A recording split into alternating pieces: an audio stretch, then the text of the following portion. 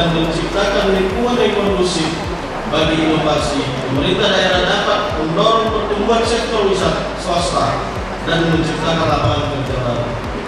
Inovasi juga memfasilitasi perkembangan sektor ekonomi lokal, mendorong kewirausahaan, dan meningkatkan daya saing daerah. Dengan demikian, inovasi menjadi kunci untuk memajukan perekonomian daerah dan menciptakan kesejahteraan yang lebih baik bagi masyarakat khususnya di Kabupaten